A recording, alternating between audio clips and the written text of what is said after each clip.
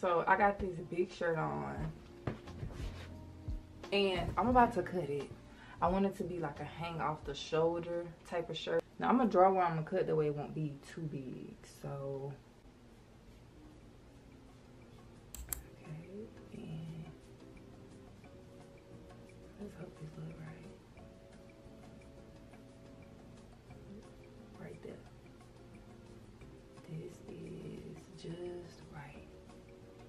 Okay?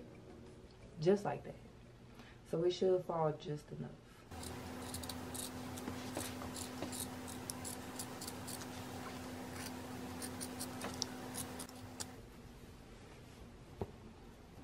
Okay. Okay, I feel like that's that's good. That's good. Should I like cinch it in or something? So I fold the shirt in half and I just cut it at the bottom like that to give it the swoop effect like that. But then the shirt's still too big, so I just decided to cinch it in some. So I took three inches off each side. I just used my middle finger as a guide,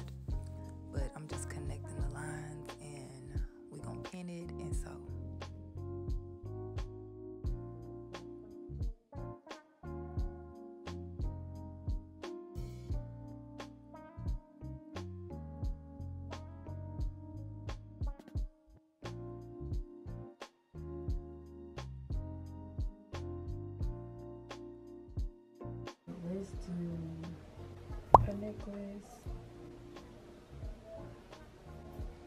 Okay. Cute. I like it. I don't like should I make it a little shorter though? Like at least like like that.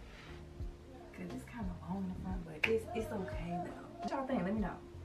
Should I make it shorter in the front?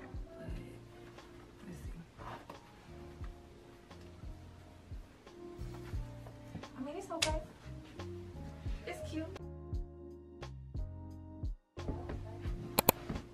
I am wearing this tomorrow. Wow. Oh. It's a little crooked. I'm gonna, I'm gonna fix that. But is this too much brown?